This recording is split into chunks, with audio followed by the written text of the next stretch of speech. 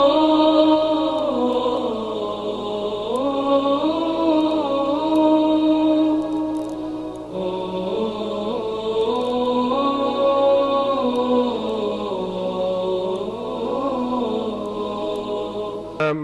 بامردوف في تويتر سأل عن حكم دخول الكنيسة.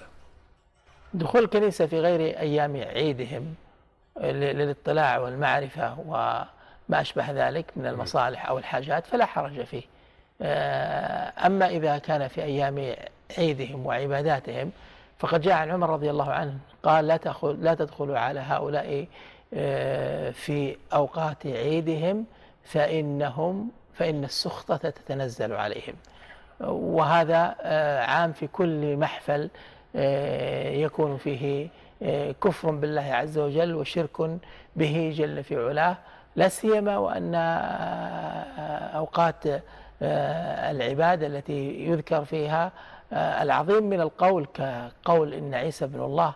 هذه من آه، من شهود الزور. إذا شهد مثل هذه المناسبات والله تعالى قال في محكم الكتاب في وصف عباد الرحمن أنهم قال والذين لا يشهدون الزور. فنفى أن يشهدوا الزور والزور هو كل باطل ومنه هذا. فلذلك ينبغي للمؤمن أن يتنزه وأن يصون نفسه وإيمانه ولا يعني يدخل عليه الشيطان مدخل إن هذا من السماحة واليسر هذا ليس سماحة ولا هذا ضياع دين. كونك تدخل في في عبادة في في في مجالس فيها الدعوة بأعظم الموبقات وهو أن لله ابنا وتقر ذلك وتحتفل به لا شك ذلك من عظائم الأمور.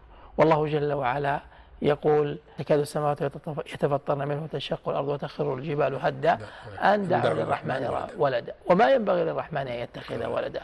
فالله جل وعلا آه، يستحيل أن يكون له ولد. فهو المنزه. سبحانه وبحمده وكل مؤمن يقرأ قل هو الله أحد. الله الصمد. ثم يقرأ لم يلد ولم يولد. هذه في قلب كل مؤمن. يؤمن بالله ورسوله.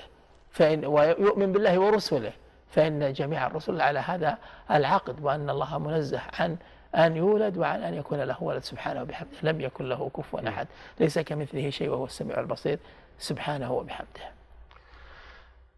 حتى نكون الأقرب إليكم بإمكانكم دائما مشاهدة العديد من برامجنا على قناتنا على يوتيوب.